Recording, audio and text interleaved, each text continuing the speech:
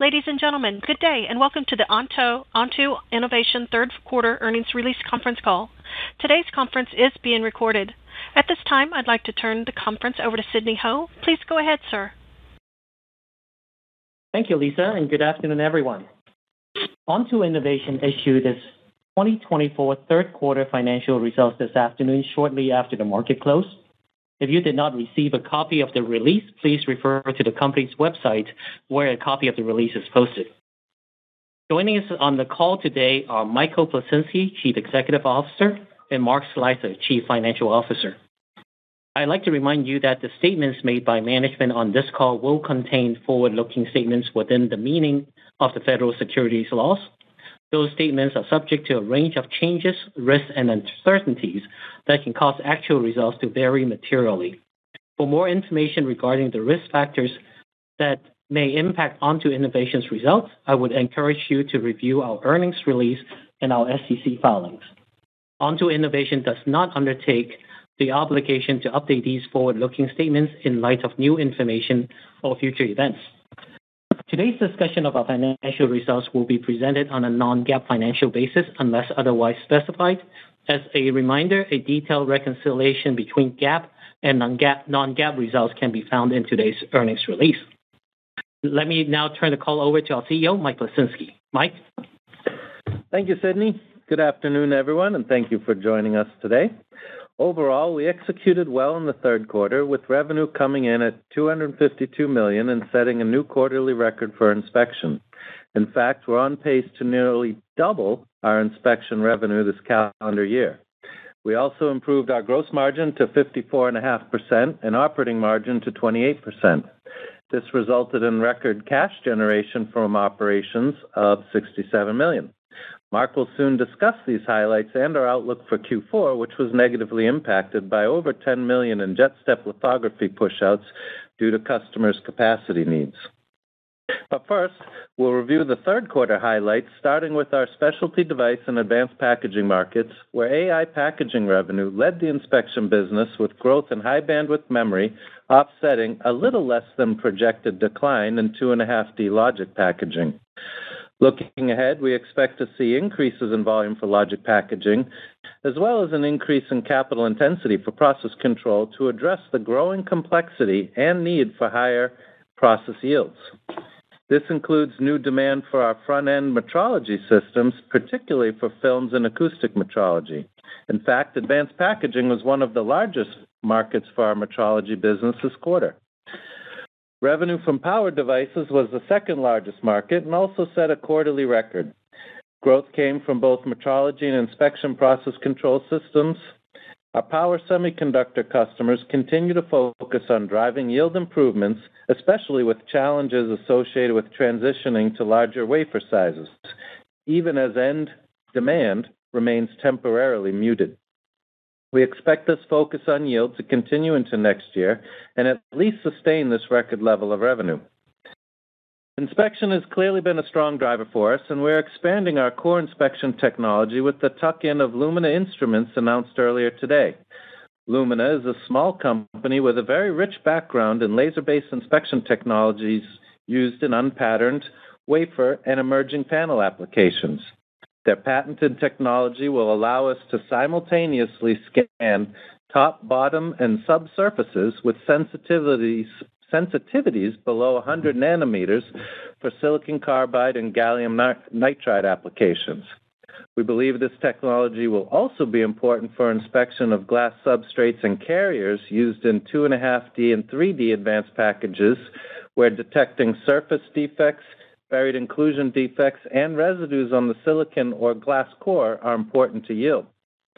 This new capability is complementary to our patterned inspection technologies with no overlap in capability, and as a result, we expect the new applications will expand our SAM by 250 million annually in the next three years. In addition to Lumina Instruments, we announced the acquisition of the lithography business from Kulicke and Soffa. With this tuck-in, we add an incredibly talented team with over 200 man-years of lithography experience, 24 issued patents, and eight more pending. Based in Eindhoven, we believe this team and technology will contribute to the acceleration of our JetStep lithography roadmaps and extend our competitive differentiation. We expect the combination of these two small tuck-ins to be accretive to earnings within 12 months and generate up to 100 million in annual revenue in the next three years. For reference, revenue today is negligible. While we strengthen our opportunities in the specialty and advanced packaging markets, we also see recovery from the advanced nodes. As expected, we saw growth in logic, DRAM, and NAND in the quarter. In addition to our strong position in OCD metrology for these markets, we're seeing solid traction with our film metrology. This year, we're on pace to grow films metrology by over 50% versus 2023. Now, I'll turn the call over to Mark to review our financial highlights and provide fourth quarter guidance. Thanks, Mike, and good afternoon, everyone. As Mike highlighted, we exceeded the midpoint of our revenue and EPS guidance, executing towards the high end of these ranges due to better-than-expected demand for advanced packaging for AI devices, gate-all-around investments in advanced nodes, and stronger software and services within the quarter. We achieved another record operating cash flow of 67 million for the second straight quarter. Operating cash flow yield at 27% represents more than doubling of operating cash during the same period last year. Third quarter revenue of 252 million was up 4% versus the second quarter and up 22% versus the prior year. The third quarter EPS increased 2% sequentially to $1.34 and up 40% versus the prior year. Looking at the quarterly revenue by markets, our biggest market remains specialty devices and advanced packaging, which was down slightly from Q2 with quarterly revenue of 161 million and represents 64% of revenue. Our biggest sequential increase was advanced nodes, which had revenue of 42 million, increased 32% over Q2 and represents 17% of revenue. Software and services with revenue of 49 million increased 5% over Q2, representing 19% of revenue. We achieved a 55% gross margin for the third quarter at the high end of our guidance range of 53%-55%, driving more than 100 basis point improvement over the second quarter and over 300 basis point improvement since the beginning of the year.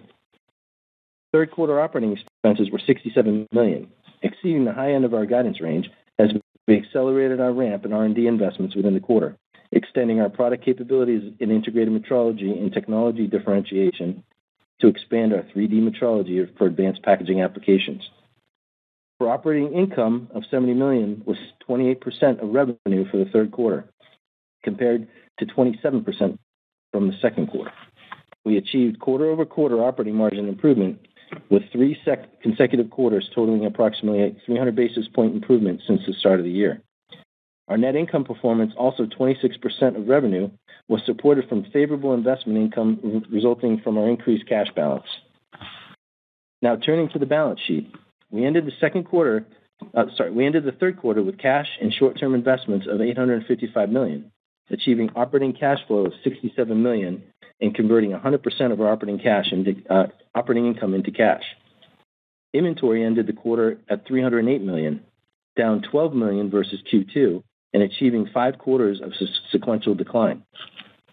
We expect further inventory reduction of another $8 million-$10 million for the fourth quarter as we project. We are holding for the Onto Innovation. We are just experiencing a brief interruption in today's conference. Please continue to stand by, and the conference should resume momentarily. Thank you for your patience. You may you may continue the conference, sir. Okay. Well, thank you very much. Uh, hopefully, everybody is still on the line, and I'll uh, finish my prepared remarks, and we'll go to questions. So, in summary, we're aligned to several diverse end market drivers, and we're well-positioned to leverage our portfolio of inspection metrology and software to solve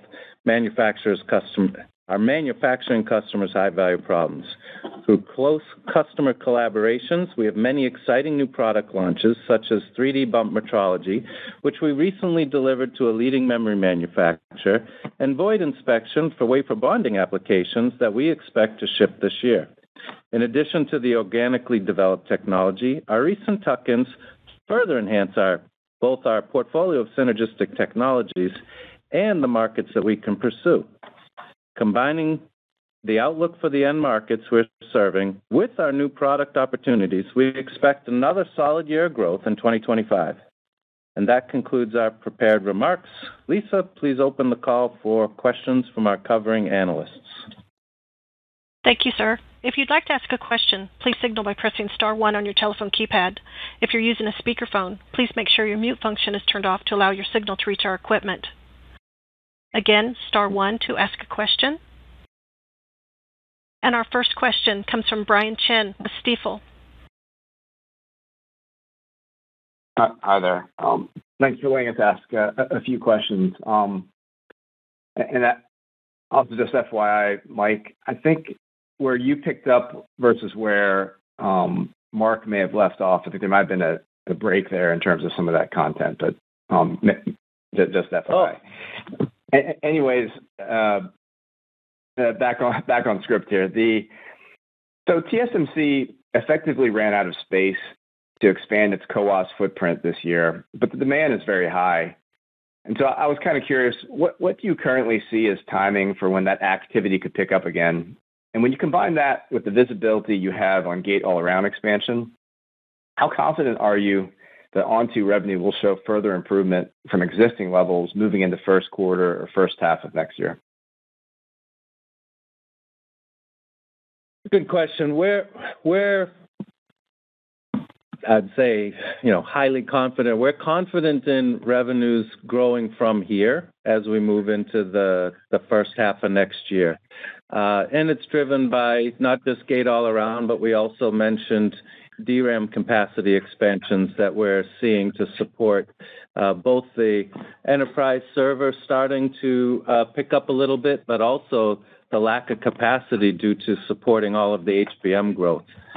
So we see both. And as far as the TSMC, or sorry, the, yeah, well, you mentioned, TSMC, the CoWoS expansion, they have been very aggressive at adding the capacity. We did mention on the prepared remarks that may or may not have made it out there that uh, we expect the fourth quarter to see a fairly significant increase, while the yeah while the HBM maybe is a little more muted in the fourth quarter from an AI packaging perspective.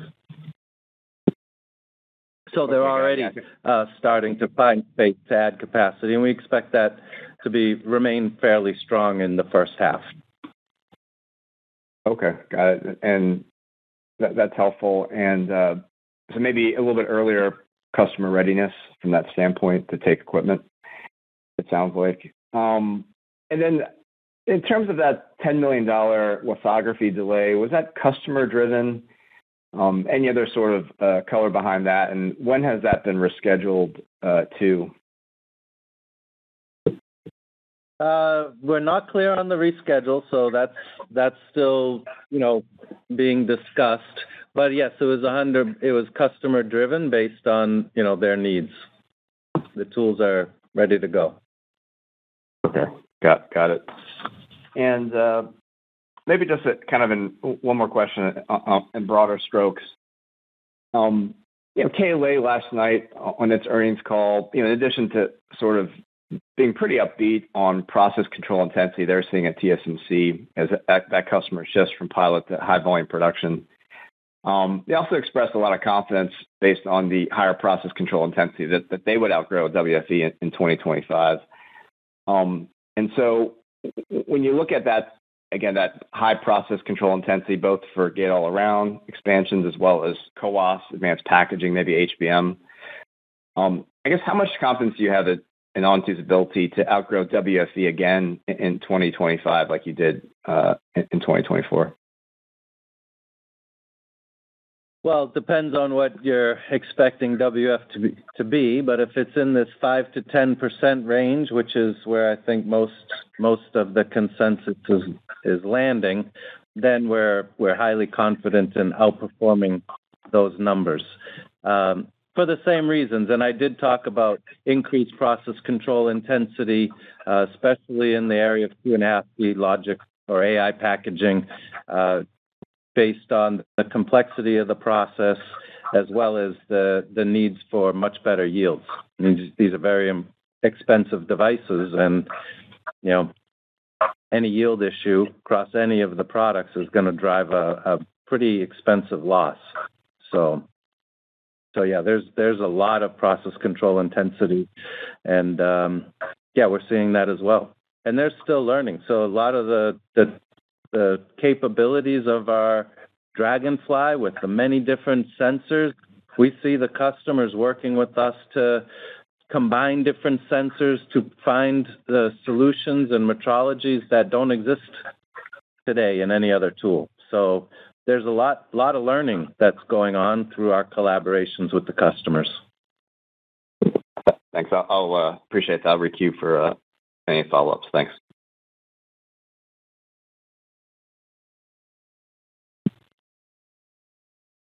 And Our next question comes from Vedvati Shrotre. Please go ahead. Hi. Um, thanks for taking my question. Uh, so The first thing I wanted to ask about is last quarter you had talked about, um, you know, volume purchase agreements for Gate-All-Around um, um, nodes. I think they were roughly 120 million. Can you give us an idea or a sense of how how that, you know, splits out between customers, given that, you know, some of the leading-edge customers are now facing issues with um with their Gate-All-Around transition. Has your visibility on those VPAs changed? Is there any conversation changes where you you you may not get that whole $120 million year? Mm.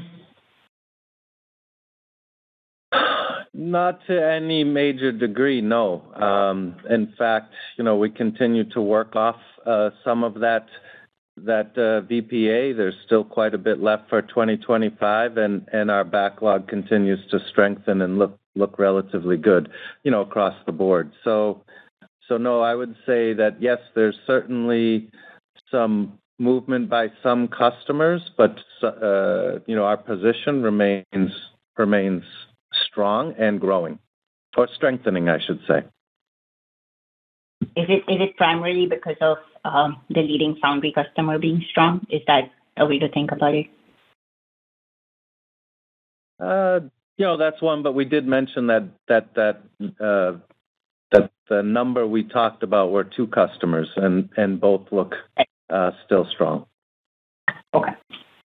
Uh, understood. So so now, um, maybe on changing tracks on on the HBM kind of a ramp, Um, what's the visibility you have on the HBM capacity additions? Like, one one of the things uh, Teradyne pointed out on their call is they're seeing HBM capacity additions could be muted next year, as in the growth for Teradyne's HBM revenues could be muted next year. What is your sense or, you know, visibility into how how that HBM uh, piece of the business goes into or, you know, the trajectory of that business into 2025? Uh, well, I also mentioned that in my remarks around, you know, we're seeing a uh, quite an increase, a doubling in capacity from the 2.5D logic side. And last quarter, we talked about HBM Uh, increasing. So that alone would drive an increase, an expected increase in HBM.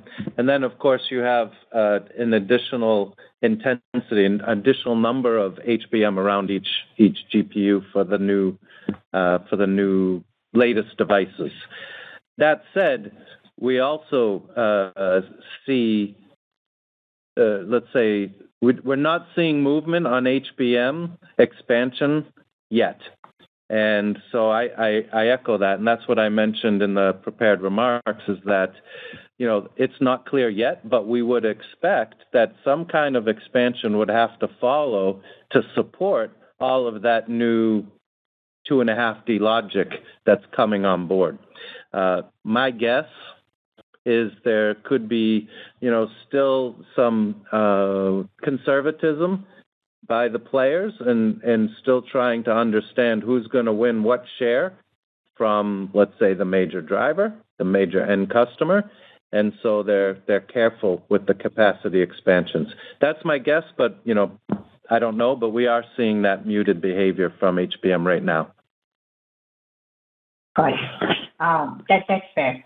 Um, and then the last one I had was on the power semiconductors. Could you help us understand sort of the size of that revenue opportunity for you? And and given that we're, you know, seeing a big downturn in the auto market, but your inspection revenues continue to be strong on the power side, it'd be great if you could um, provide, like, what's the disparity there? What what continues to drive your revenues versus, you know, we're seeing CapEx cuts across the board? Yeah. I I mentioned it the last couple quarters. It's all about driving yields and and higher yields. And I mentioned there's some wafer transitions, whether it's silicon carbide going from 6 to 8-inch or or uh, GaN moving from 8 to 12-inch. That, that has an impact on yields and uh, sort of creates a requirement for additional process control or better process control capabilities. So we're seeing some of that. And then I think it's pretty well publicized that the yields in general are not that high. So customers tend to want to, you know, if they want to increase output or prepare for increased output, they can mm-hmm. focus on yield instead of adding just capacity and throwing away. So that makes them more profitable when they do actually ramp. So how should we think about the opportunity for you as in kind of the size of the business or any color there would be helpful. Uh, well, you know, we don't break it all down there, but it's becoming, you know, one of our top markets behind AI packaging in the in the specialty and advanced packaging market. So I think it is number two in that in that space. Thank you. I get back in the queue. And we'll move to our next question from Edward Yang with Oppenheimer. Hi, Mark. Hi, Mike. Hi, Mark. Congrats on a great quarter. Uh, just wanted to uh, drill down a little bit deeper into your uh, outlook into 2025. Um, you know, you're expecting continued growth there and outpacing WFE. But, you know, obviously this year, you're looking for revenue to grow, you know, about 20%, and that's that's well a multiple of how much WFE grew this year. So, thinking about all the different puts and takes, um, you know, what what are the things that uh, give you confidence or less confidence? Um, and uh, will you uh, can you size up again, um, are there any reasons why growth should meaningfully accelerate or decelerate from your 2024 run rate? I would say, since I said we'd grow, there'd be a meaningful acceleration, and that would be in advanced nodes for sure. That's been, you know, bouncing along the bottom. And now, you know, we've talked about gate-all-around opportunity expansions, but we now also are starting to see and gain more confidence in DRAM, additional DRAM capacity and growth there, uh, driving our advanced nodes. So we see that uh, staying, you know, growing, growing quite nicely. Uh, the AI packaging, for sure, gate-all-around and the process control intensity and volume increases there is creating opportunities. Uh, we'll see what happens with the HBM. Does it stay muted or not? Uh, if not, I think there'll be some significant growth there. I don't see how it could stay as it is if the, you know, if the CoWoS essentially doubles. So we'll see. Uh, but that's that's that. And then we talked about the power semi, and in there, I said we would at least sustain these record levels in the prepared remarks, uh, which implies we would expect to exceed and set new record levels. So this would be a floor for us, and so that will be another uh, growth driver for us as we look at 2025. And and Just to clarify, when you when you say accelerate, I mean, do you mean accelerate off of a 20% revenue growth rate? Ah, yeah, good point. No, I'm not trying to imply we'd grow above 20%. Um, no. So I should have used the word not accelerate. And um, you know, one of your larger foundry customers um, signed an advanced packaging deal with an OSAT in uh, Arizona earlier this month. Um, you know, does this have any relevance to your order book? Again, can you uh, speak to the broader ability of your customers to uh, place tools at this point? It seems like things are loosening up a little bit. Uh, is space still a bottleneck? Things are loosening up, so there's new capacity coming up. But even signing that deal, there's there's timelines to transfer and to qualify and to bring in tools, et cetera, which some of it's it's it's in process, so but there's not an immediate like launch, right? So, so yes, it's all part of the mm, breaking of the current bottlenecks in the CoWoS capacity. There's also uh, you know actions being taken by that that large customer as well, internal. And and there's been discussions about the Innolux purchase. Um, and in my prepared remarks, I did mention Q4. We see a nice big uptick from the Gate-All-Around. Uh, Sorry, for the 2.5D logic packaging, and we expect that to maintain pretty healthy in the first half. Uh and just a final question maybe from Mark. I saw the SG&A ticked up a little bit sequentially and, you know, is that a good run rate going forward, or was there um any any extra spending in there that impacted the quarter? Yeah, I mean, I would think our goal is to hold total OpEx, you know, in line or better than Q3. Um, I'd use I'd use that run rate from Q3 into Q4. Um, in my prepared remarks, which might have been uh, abbreviated, um, you know, our goal is to, you know, drive offsets to the the cost of the tuck-ins within Q4. So we can. Our goal is to stay at those levels for uh, Q4 or better. Thank you. Thanks. And we'll move to our next question from Mayur Popuri from B. Riley Securities. Yeah. Hi there. Um, I'm actually on for Craig Ellis. Um, but you mentioned uh, packaging pickup in uh, the fourth quarter. Um, is that kind of related to the increased complexity needs as we move into this RDL-based uh, packaging? Uh, or is it more to do with uh, just general volume increases? And if it's to do with this um, LDL RDL-based packaging increase, is that a trend that we can expect to continue as RDL picks up over the incumbent? I think that the complexity increases is from two things, uh, a couple things. One is, yes, they're introducing some new processes that they've talked about. but Two is yields haven't been. You know, yields have room to improve, so they're also looking at areas that could be impacting yield and how can they measure, so you can't fix what you can't see. So how can we see, help them see what what is impacting yield so then they can make the adjustments and fix it? And that's that's I that dynamic is also in play, and that's where I mentioned, you know, the the incredible breadth of capability we have on the Dragonfly platform to bring to bear different types of sensors and metrologies and inspection in order to combine that data and see things that you wouldn't see on any single tool. So that provides new insights into the yield opportunities to improve. Okay. Yeah, right. No, that's that's a great answer. Um, so I have a question on the Flies, you know, the Dragonfly and the Firefly. Um, obviously they're really capable tools in 2D metrology. Um, but you've also pointed out before how they're incredibly capable in the 3D inspection space. Um, do you see that kind of picking up share? I know you mentioned one memory customer who wanted it uh, for these 3D inspection processes. Do you see that 3D inspection aspect to these tools picking up? So there's there's localized 3D capability, which is very powerful, and we use that for, you know, high aspect ratio, 3D, very high precision metrology. That that is part of the the 2D applications.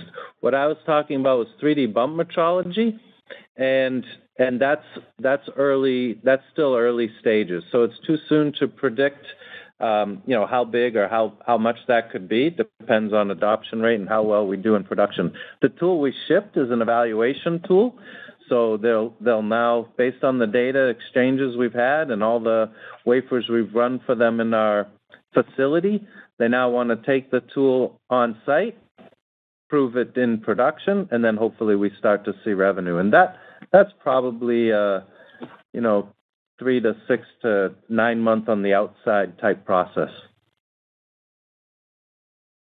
All right. Gotcha. That's, uh, yeah, I hope that goes well. Um and then about those volume purchase agreements that you announced. Sorry. Uh, we do. I was gonna say, we do expect to ship additional tools uh, in the fourth quarter to additional customers for evaluation. And that's evaluation on 3D? Yep. Okay. Great. Great. Um, and again, about those uh, volume purchase agreements. Um, so, you know, we were talking about last quarter, um, I forgot exactly who asked this question, but you know, there was some talk about how these might convert into kind of uh, larger agreements in the future. Is there any progress there on in terms of kind of converting these uh, initial agreements into perhaps larger partnerships going forward? Mm, I think what I might have said is that we would expect perhaps additional revenue through the year. And right now they're still working on this. So, you know, I think it will. Will it? it, um, They gotta cut through this, and then we'll see what happens in the second half of the year. But that's still my my projection. I, I wouldn't. If I was gonna bias it, I'd bias it towards they're gonna need some additional tools in the second half versus um, versus not. Okay. thanks so much. Um, yeah, that's all I have. Um, thanks for talking to me. Yep. My pleasure. And our next question comes from Charles Shi with Needham. Hey, um, Um, uh, you guys got to cut off the big chunk of the prepared remarks uh, we actually didn't hear. Um so maybe Mark, can you kind of repeat what the Q4 guidance uh, line by line what's in your prepared remarks? 'Cause I I think it's kinda important that if you can repeat for us, that'd be great. Hopefully, this doesn't count as a question. No, thanks. Yeah. So I mean, I'll just start out, at Charles, I'll just start out at uh, to, at inventory. So inventory ended the quarter at 308 million, down 12 million versus Q2 and achieving five quarters of essential decline, sequential decline.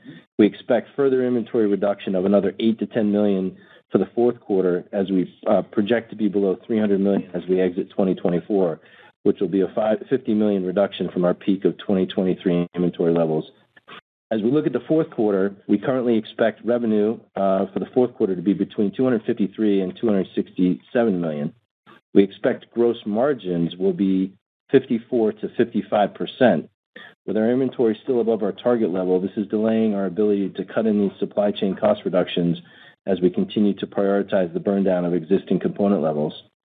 For operating expenses, we expect to be between $66 million-$68 million as we look to hold OpEx flat or better versus Q3 as we optimize R&D to minimize the cost impact of the tuck-ins we announced earlier.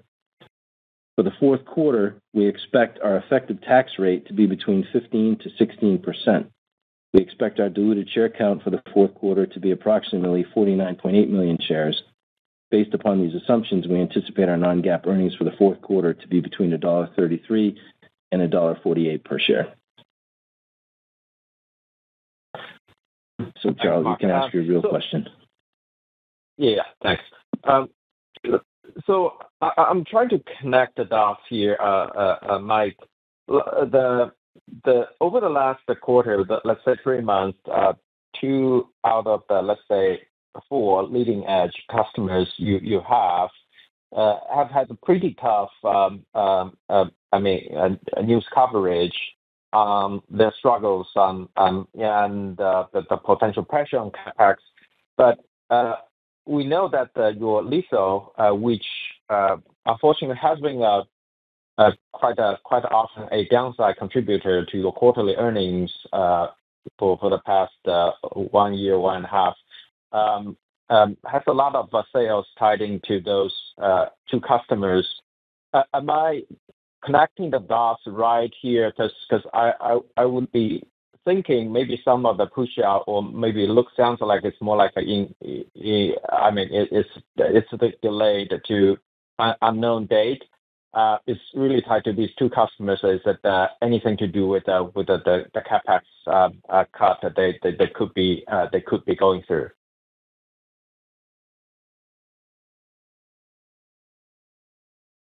I don't know which two customers particularly you have in mind. It doesn't matter too much. Uh, I think if you look at the substrate market where this where the lithography tool plays, there was massive, let's say, um, bottlenecks that several of the enterprise server customers, manufacturers, complained about publicly, that you know they were supply constrained by lack of substrates. And so there was a really, really aggressive expansion through 2022, maybe a little bit into 2023. And then, As we all know, the market's really softened, especially for enterprise high-performance compute. And so, and you know, NVIDIA's the you know the AI is the big big engine now, and that's on a wafer basis. That capacity, that excess capacity, is starting to be uh, picked up, and we see a little bit of pickup, but it's still off of a kind of a low base. You can see that reflected in the end in the comments I made about DRAM and the strength we're seeing now in DRAM. And that's driven by some of the enterprise or hyperscalers and some enterprise compute uh, you know, warming up. I'm not sure if that answers your question, but uh, I'm not sure what you're trying to get at. Yeah. Okay. Okay. So uh, it sounds like you think the push-out is probably more of the cyclical factor at play rather than anything that's structural. I mean, those two customers are probably having more of a structural problem than the cyclical problem. That was what what I'm trying to figure out. Uh, yeah. I think it's more yep. Go ahead. Yeah. The other thing I do want to uh, uh, uh, talk talk to you about really is the AI packaging business. I think last quarter, you talked about maybe second half this year, roughly 10% below the first half level, combining 2.5D and the HBM. And based on what you said, it sounds like in Q3, HBM was okay. 2.5D was down a bit. Q4, 2.5D coming back up, but HBM a little bit more muted. But do you still view that uh, -10%, half over half, the right number? Uh, is there any upside or downside to that number so far based on what you see? Yeah. That's a good question. It was in my prepared remarks, which, of course, no one seemed to have heard. But uh, it was. I did say that it's cut in half. So things have, you know, if if I had said 5%-10%, it's about half of that now as far as the down goes. It's about half the decline that we we originally projected. Okay. Okay. Okay. It's roughly 5% down compared with the first half level. The first half 2025, because uh, because uh, allow me to uh, finish this question. Um, you you kind of said that you expect that there will be higher than second half 2024 level. Based on the order intake, based on the customer indications, do you do you still feel like that's about the right like first half 2025 higher than second half 2024, but but still have to wait and see if it can exceed the first half 2024 level? This is for AI packaging specifically? AI packaging, yes. Uh, yeah. I think for for logic, it's going to be uh, relatively healthy. Um, so maybe at the same level. I'd have to double-check. But the real question mark is the HBM piece.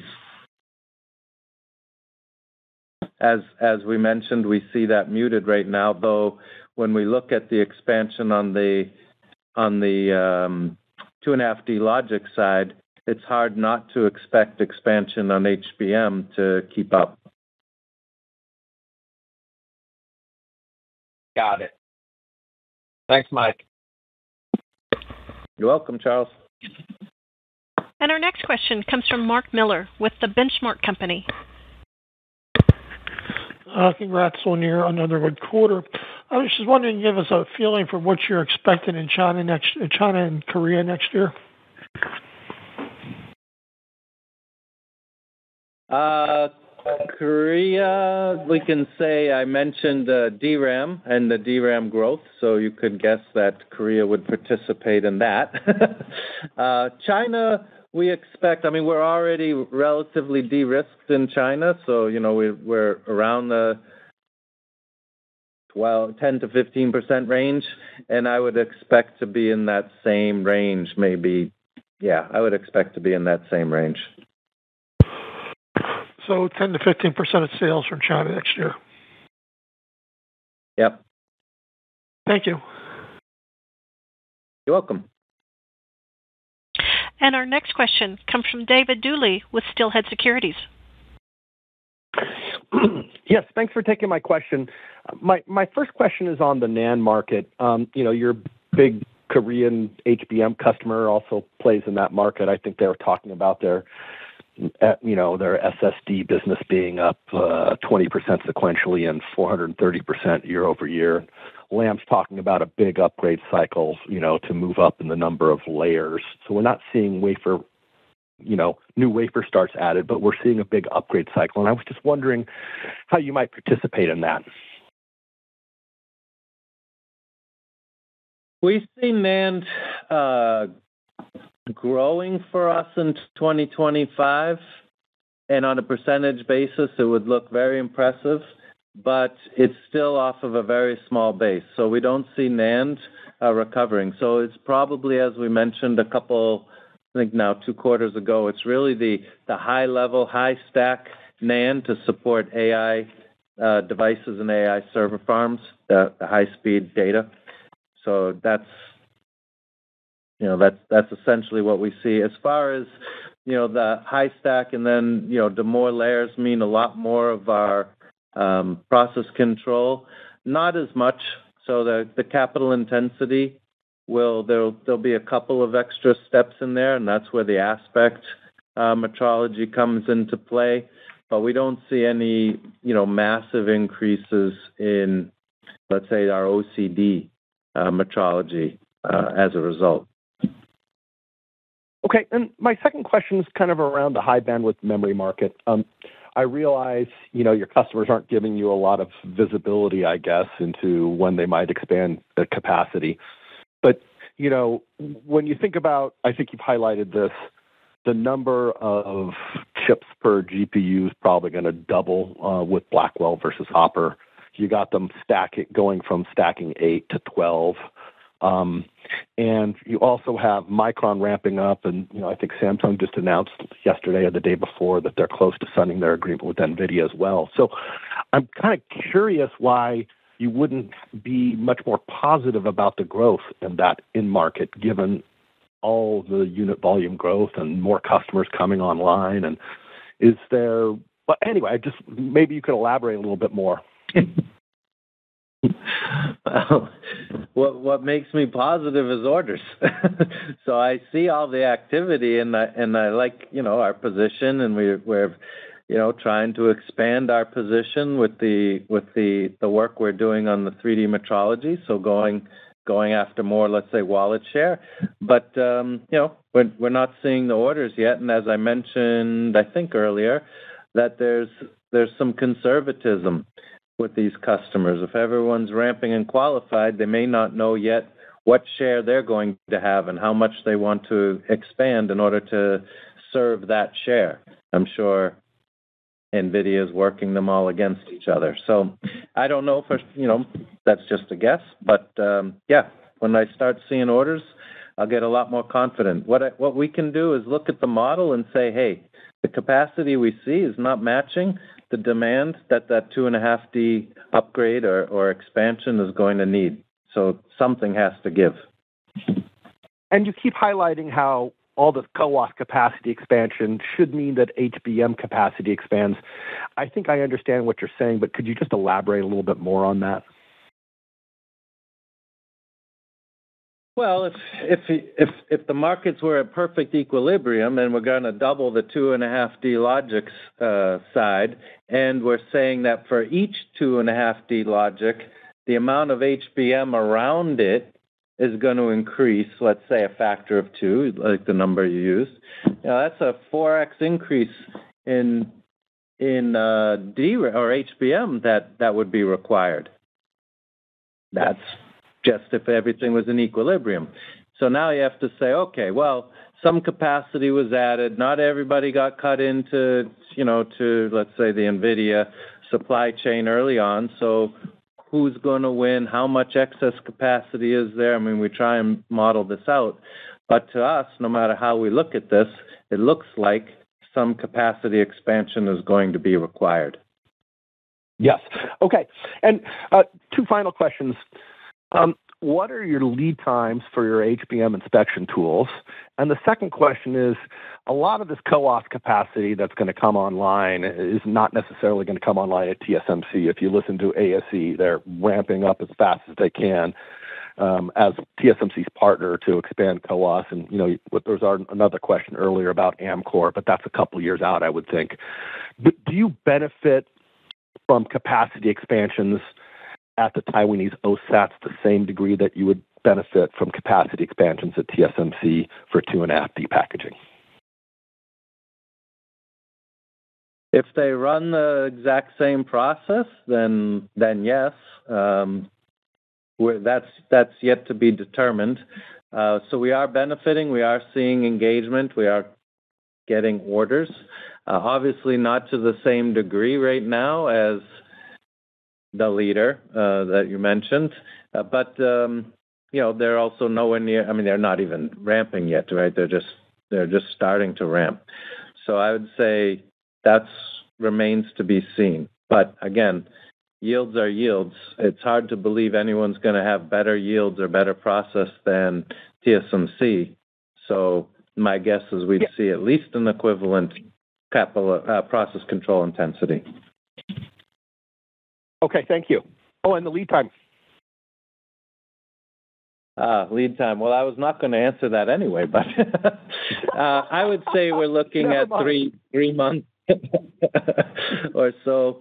You know, it's it's it's definitely increasing. The volume's gone way up. But as you know, we we've we've always mentioned we build to a forecast. To the extent we have a good forecast data, you know, we we we can adjust lead times. But um, things are ticking out a little bit because of the such strong demand we have right now. So with that kind of short lead time, obviously, if a customer came in and want a bunch of tools, you have the capacity to meet that order.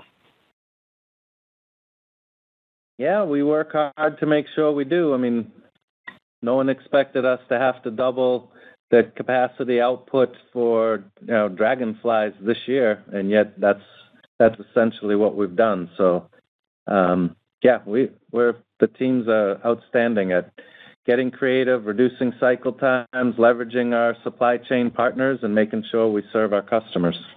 And as we've commented before, we have the capacity within our manufacturing to do that. Excellent, you guys. Um, uh, we appreciate the excellent execution. Thanks, Dave. Thank you. We'll take our last question in queue from Brian Chin with Stifel. Hi there. Um, you know, uh, it wasn't really a question, but what I was gonna suggest or maybe just put out there is that um, I appreciate Mark repeating the complete fourth quarter guidance.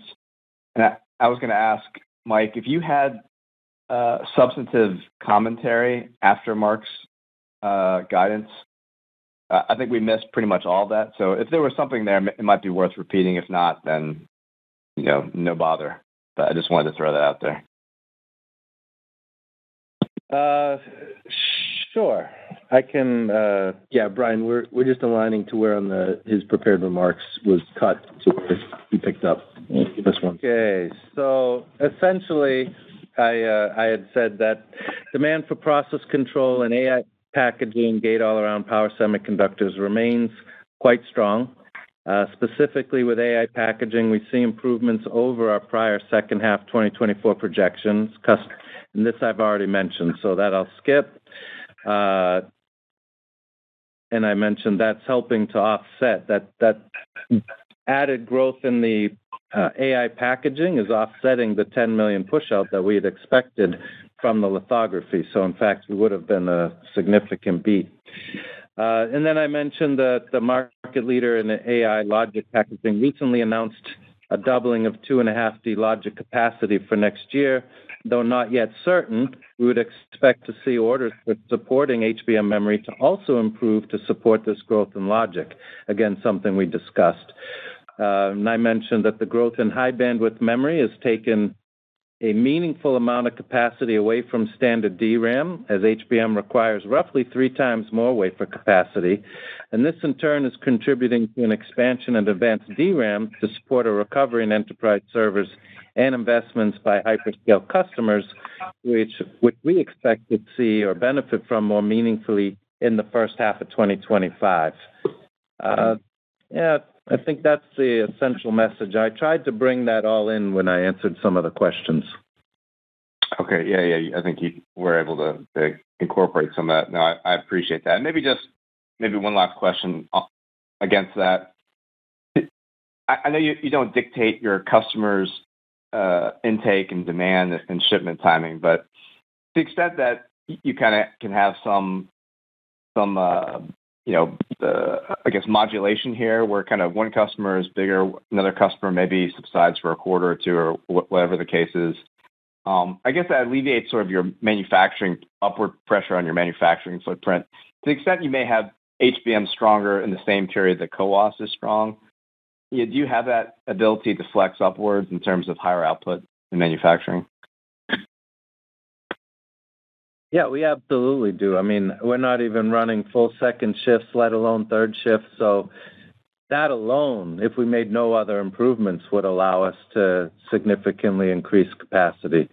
So we absolutely do. There's other things we're working on. I mentioned working with supply chain partners. So we're moving some of the less skilled or or um, you know more some of the sub-assemblies to partners Uh, where we can take that off and free up the floor and free up our our higher-trained technical people so uh, to focus on the more difficult integration. So yeah, we definitely have the ability to serve the customers and and their needs as they grow. Yeah. And maybe just to clarify one comment you made, I think you said backlog continues to strengthen. So it sounds like you're running a positive book-to-bill with orders ahead of of revenue across the business.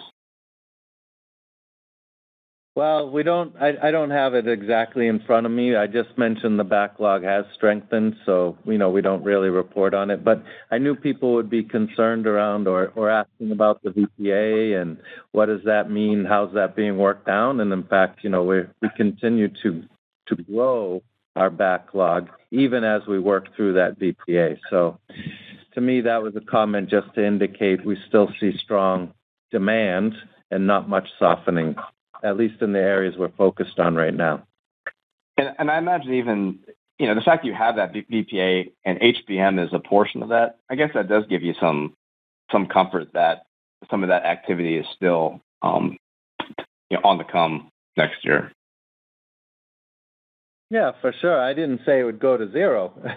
HBM is still going to be there. I just think it could be even stronger based on the demand-supply models we have between the 2.5D logic and the HBM. So hopefully, there's some upside we can talk about in future quarters. Yep. Appreciate that. Thank you. Ladies and gentlemen, this concludes today's Q&A session. I'd like now to turn the call back to Sidney Ho for any additional or closing remarks. Thank you. Um, we will be participating in a number of investor conferences throughout this quarter. We look forward to seeing many of you there. A replay of the call today will be available on our website at approximately 7:30 Eastern Time this evening. We'd like to thank you for your continual interest in Onto Innovation. Lisa, please conclude the call. And ladies and gentlemen, this concludes today's call. Thank you for your patience and your participation. You may now disconnect.